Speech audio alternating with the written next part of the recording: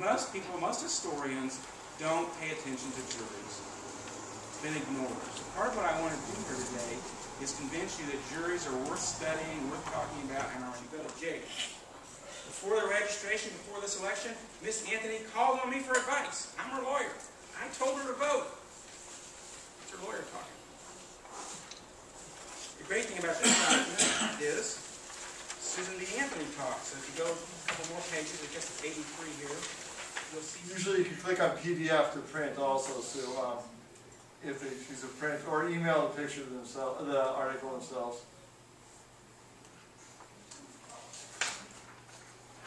So there's a lot of information there, and there's a source citation already in uh, MLA format. It's in the database.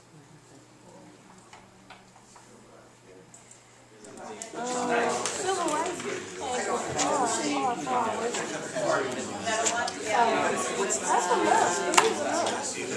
Four, we got four, we got four, we looking at in terms of opening an assignment, like, okay, so now I'm gonna take the information, make a pamphlet, and start with this, and as a way to voice the way in which pamphlets were used. Definitely. So you're kind of, you're teaching two ways. You're teaching conceptually how people were heard back I'm then.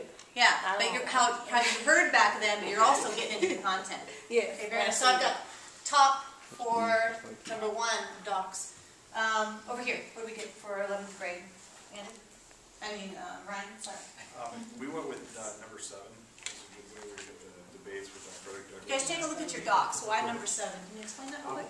Well, I Oh, missed the morning better. part, so Should have my been. colleague explained why we picked number seven, but I agree with you. I, I, I liked it because it's, it works in the first part of the eleventh grade unit, or the, when you're talking about the Constitution. A lot of my kids seem to come with a sort of a cynical idea of what, the you know, it's a common concept even among my students that it was written by slaveholders. And here's a debate of two African Americans having this debate as opposed to being two white people having this debate. And they are, um, and it really, it fleshes out sort of the, it's, they're very, it's, it's a simple reading, it's not, it's not a very complicated reading, especially, uh, Ward's argument. Um, and then bringing in number eight to sort of say how people evolve and change.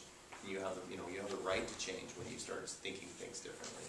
Um, I think it opens up a bigger concept, and then it can be brought back when you're talking about, um, you know, the eleventh grade, when we're talking about reconstruction. Um, we can bring that article back, so I think in terms of being useful,